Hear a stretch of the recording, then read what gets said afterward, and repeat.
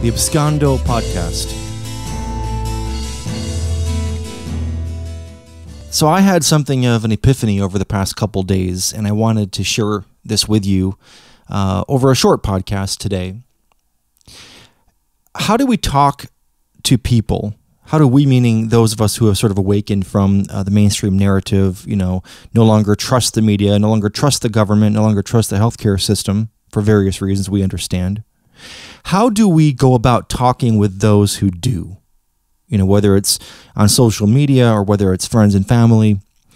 Um, you know, what's the best way? You know, are, are we meant to, to argue with people or just or post uh, conspiracy theories that we that we believe in? Or how do we handle this? And, and I bring it up because there's a there's a problem. I mean, I don't think any of us really has the total truth. I don't feel like I know for sure what the truth of anything these days is you know, we're in the fog of war. Um, I do know that the propaganda, the mainstream media, the fake news, and all this, I know that they're, they're they lie all the time, right? So I don't trust them. I do know that the healthcare system uh, is not there to look after our health or to improve our lives or to make us healthy. They're there for for other reasons. Let's just leave it at that for now. Same can be said about school, you know, about the government. Um, nobody's really concerned with with truth or with honesty or with beauty or making life good, right? So so we don't really trust any of those institutions. At the same time, there's a bunch of conspiracy people that are saying really ridiculous things about reptiles and human cloning and aliens and flat Earth and all this stuff. And even if some of that might be true, I don't know. I'm not saying it's impossible. Well, some of it is. um, but my point is, you know, I don't know whether I've heard about the adrenochrome. I've heard about the the massive human trafficking. You know, I don't know for sure how much of that is is true or real. I don't know for sure whether the military is in charge in the U.S., although it seems that way. You know, how could I know anything for sure unless I was directly involved? And the same thing goes for anyone watching the mainstream media or or you know reading the headlines from the the corporate news sources and so forth. You don't know either. You you just know that that source said that. right? So it comes down to a a question of like, um, you know, where's the evidence? If, if you if you express a different opinion about something, right, prove it. And I realize that's not that's not the way to go. Because how can I prove something if all the sources that I've learned this about or from um, are blocked by Twitter and blocked by Facebook or, or censored as false news, even though I don't believe it's false, right? there's enough reasons for me to believe multiple sources for long enough over time and my basic logic. I, I, I, believe what i'm saying about something. But if i'm going if you're asking for proof i can't even post those links because they're censoring it right which is ridiculous so that's not the way and, and it's also not the way to get into debates, you know, and try to to um, you know uh, be more right and better and more intelligent than someone and make them look stupid and attack them. So this is a long way of saying that I think I found something that really works well and is the way to go in terms of we awakened people. How do we talk to other people who are still um, who still believe in the false authority? Okay, so what I've been doing lately, and it's been working like a charm, is whenever there's a news story by some you know local news news source or whatever, you know, for example, there was one where I lived where they, they said that, you know, 90% of the cases of, of coronavirus are this new deadly strain. And, and I, and of course, I don't know how to argue that. But what I did say is, uh, we don't believe you. That's it. We don't trust you. We don't believe you. And, and then, uh, you know, today somebody was posting that, you know, we should all get the, the vaccine, you know, wash our hands and get the vaccine. And I said, I heard people are dying from that vaccine. I wouldn't trust that vaccine. I'm not going to take that risk, you know? And the guy says, Well, I'm a physician. And I said, Well, I don't trust physicians. We don't trust, we don't believe doctors. We don't trust the healthcare establishment. Okay. So you don't have to, you know, the wrong way to go would be to get into a debate with a physician because there's no way that anyone is going to crown you the winner of that debate when you're not a physician. But it doesn't mean, you know, that that I have to know more about medicine. What it means is he has to earn my trust. The establishment has to earn our trust. The burden is not on us to prove science. The burden is not on us to prove exactly what happened on January 6th. The burden is on the institutions and the person arguing in favor of the institutions to earn our trust. It's like a relationship, right? So if you're in a relationship with someone who lies all the time, who who lies and cheats and you've caught them for sure, you don't trust them anymore. And and I've and I've for you know for 20 years I've been catching you know these institutions and lies just on the surface, you know. The coronavirus, they've never even proven that more people are dying than any other year, like overall in any country. They should be tracking that, you know. The the vaccine, if there were a vaccine widely available, and, it, and if it truly were a vaccine, then I guess we, we can end the lockdowns and end the masks because we'd be because whoever wants to get it can be immune. Whoever doesn't can take the risk. Everybody can be happy. There's no problem anymore. But obviously, it's not just from logic. It's not a vaccine. So, what is it? What are they trying to do to us? Why are they making us wear masks um, when that doesn't even really stop anything from happening? What is going on? The point is, they've lost our trust. And so, we don't have to prove what is going on. We just simply have to say, as, as awakened people, we don't believe you. And there's tens of millions of us, there's hundreds of millions of us around the world. We don't trust you.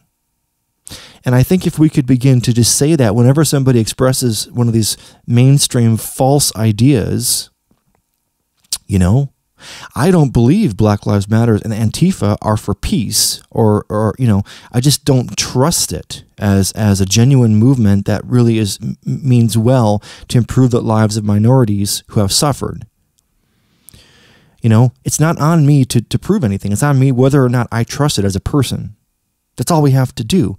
But to say that, you've got to you've got to humble yourself. You've got to lower your ego. You got to drop your ego because you can be laughed at. You can someone can you know can can say something nasty to you that you're an idiot that you don't even understand anything, right? So you've got to go into the battle with no ego and stand stand behind it because there's no other way that we're going to to um, have any impact. You know, when you see something false, some some some illusion um, that someone else believes in, just say, "I don't believe that. I don't trust that source."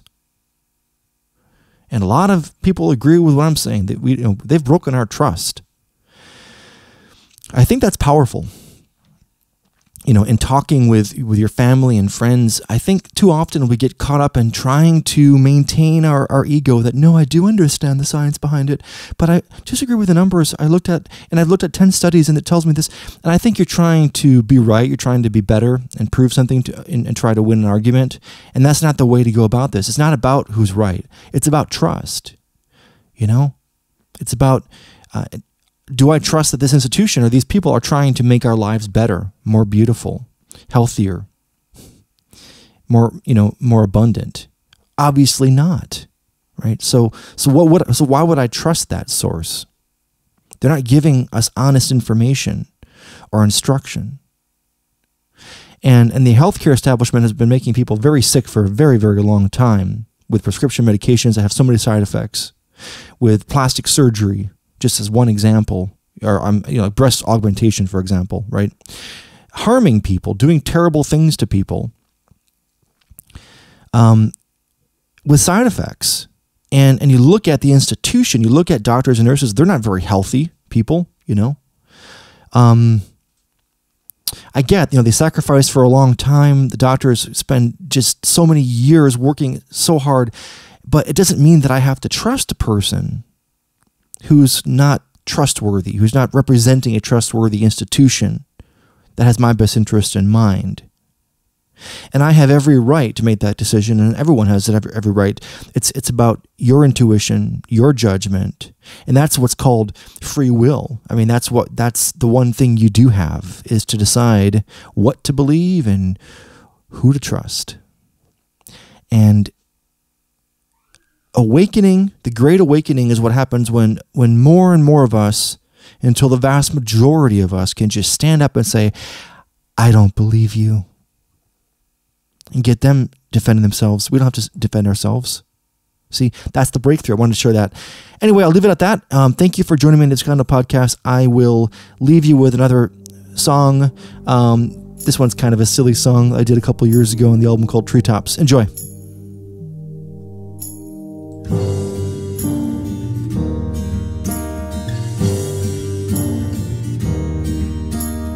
Spiritually unawake, drift into sleep on the softest bed, on sheets with many threads, thinking of everything I shouldn't have said.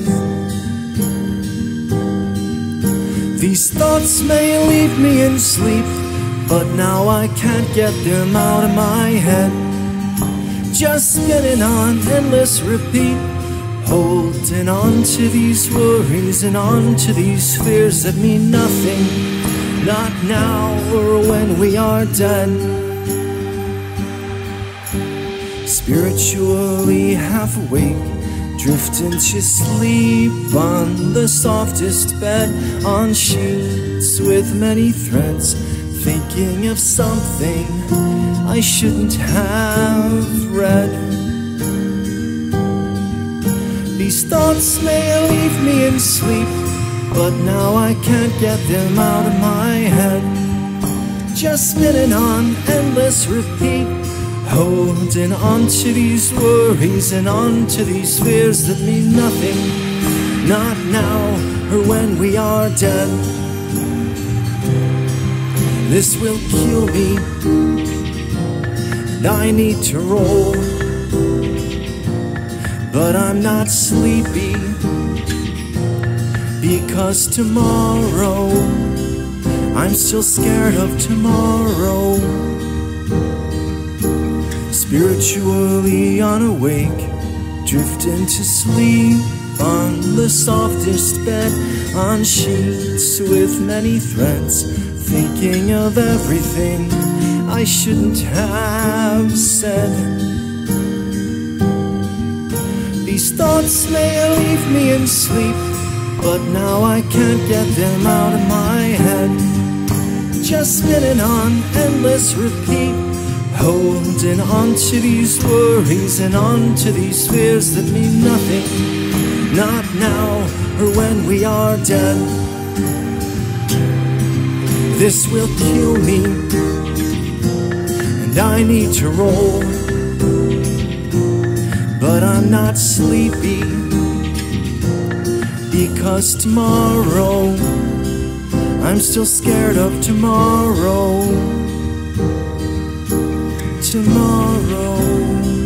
I'm still scared of tomorrow. Tomorrow. There must be something much greater than this.